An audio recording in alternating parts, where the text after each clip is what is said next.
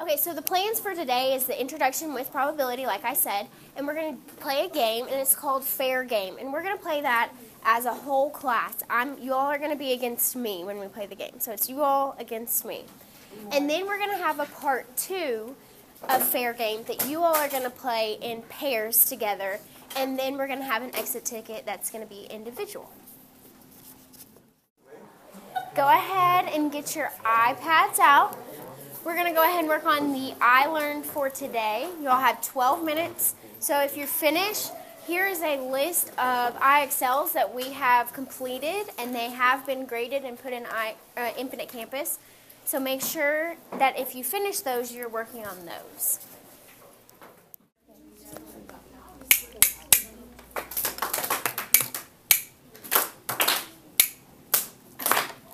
Guys. We're to go over this together, and I'm to have you all share. I'm to have you all give some input on what you all put, but be sure and raise your hand um, if you want to share an answer. Okay, so it says on the number line above, place the letter of the following events below based on their probability. So the first one, you will miss a day of school this year. This is going to be different for you all, but someone share what they have. Where, where did you put it? On 100? Okay, so a lot of you all will probably have on 100% because it's a 100% chance that you've missed a day of school because you've already missed one. So the total is the number of times that you toss, you land on. No, oh. that's in your trial. This is experimental. So how many times do you flip head? Can we keep a tally like right Yes, yes. Actually, I suggest you keep a tally up here and then write your total.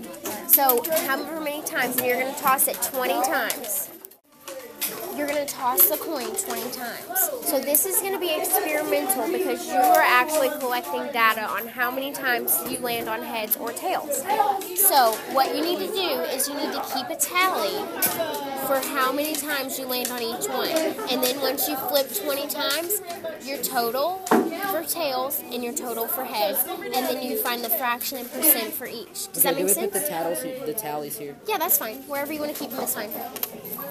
Let's look at, we're going to do number one together, and then y'all are going to work through through five. So let's go through number one. It says the meal deal choices, you have a choice for drinks, chips, and a main item. So you have drinks, water, tea, or milk.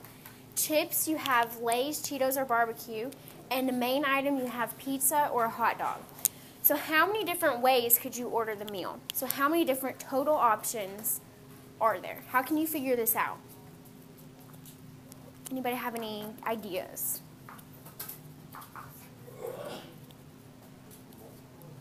Okay, what do we need to multiply?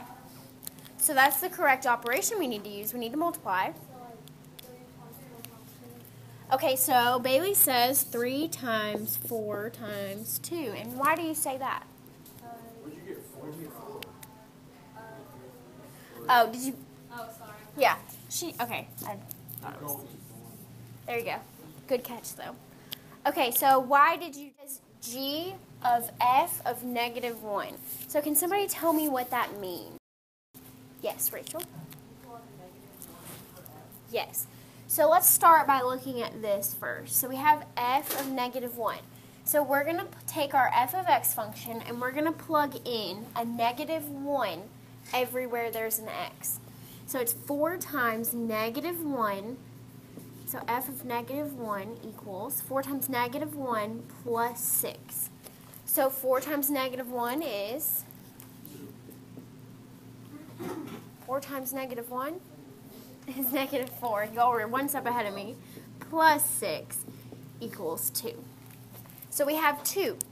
Now, it this 2 replaces the f of negative 1 because that's what f of negative 1 equals. So we're going to take this 2 and plug it in for in the g. So g of 2 means that you're going to take a 2 and plug it in everywhere there's an x in g of x. So we're going to have 2 times 2 plus 8, and that's going to give us 12. So g of f of negative 1 is 12.